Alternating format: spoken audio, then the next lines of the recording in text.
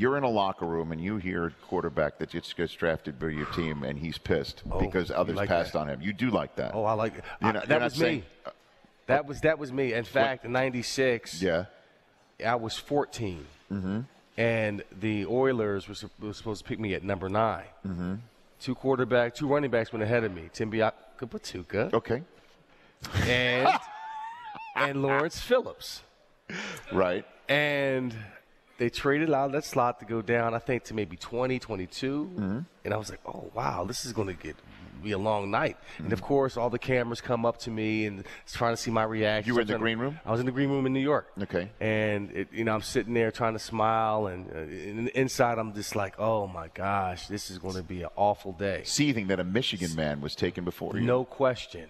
And how he and he ended my uh, undefeated season and ran for 300 yards against us. I, I, I remember what Timmy Biakabutuka did. Yeah. I'm waiting for another Biaka Batuka moment. Uh, it's coming in, in, in the next century or so. Okay, We'll thank you for that, Eddie. Not not not anytime soon.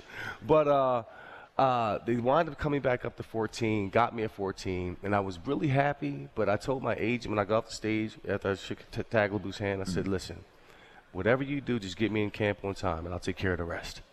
And that led to me, you know, having a rookie of the year season, a few Pro Bowl seasons in a row. So this is a good thing for Dwayne Haskins because he felt slighted from the Heisman. Mm-hmm. And didn't get enough love there. I thought he should have got more votes as a Heisman Trophy had candidate. 50 touchdowns. Come on, man. Come on. Against elite competition. Um, and now with the draft, and with I don't know what the Giants were thinking, but I thought he was definitely going to be a New York Giant. But that's what you have to have. He's going to come in with a chip on. And he says it. I'm coming in with a chip on the shoulder, on my on my shoulder. I'm pretty sure he's like, listen, just sign me today. It doesn't matter. And now he's going to face the team twice a year. Right, yeah. Oh, this is going to be beautiful. But there's It's no one. There's no one in the locker room that's thinking right now, hey, you know, he should be excited to be here and not have a chip on his shoulder to be. Nah, you want that. I mean, Okay. for Washington, hey, look, you want a quarterback You sure with a chip do. on your shoulder. Right. You know, From the area too, his family's got to be ecstatic. Yeah, yeah, The- Washington's got to be ecstatic too. We had him on the show last week, and I, I, he's got a lot on the ball. He's a sharp, sharp kid. Sharp kid. and he would not say the word Michigan. he would not say the word. It was That's funny. He, he said that, and I, I pointed that out to him twice. He said that Twice. right, and I'm like, "What if the Lions take you?" And he says, "I will say that I play in Detroit." That's what he said.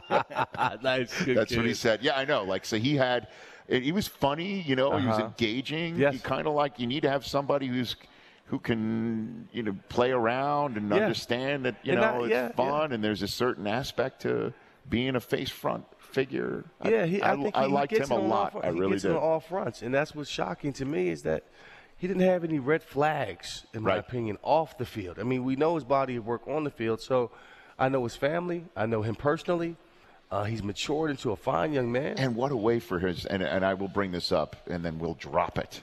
Um, the way that he came in in the big house, Oh, JT Barrett, who probably got every snap under the planet, right? Yes. Because he is the all time, he's, he's a GOAT at- Ohio State, Mm-hmm. goes down in the big house. And I told him this when he was on the phone. I'm like, I thought that game was a wrap because Yes, here comes did. the backup. And that kid was like, oh, man, Yeah. where did that throw come from? You're oh, probably hoping that you man. didn't hurt JT. So right? for which right? So which which which what better way to prove you're you can come off the bench? You can do this through natural ability Mm-hmm. and whatever preparations that you have. For more of The Rich Eisen Show, tune to Audience Channel 239 on DirecTV for free on BR Live or download the Rich Eisen Show app.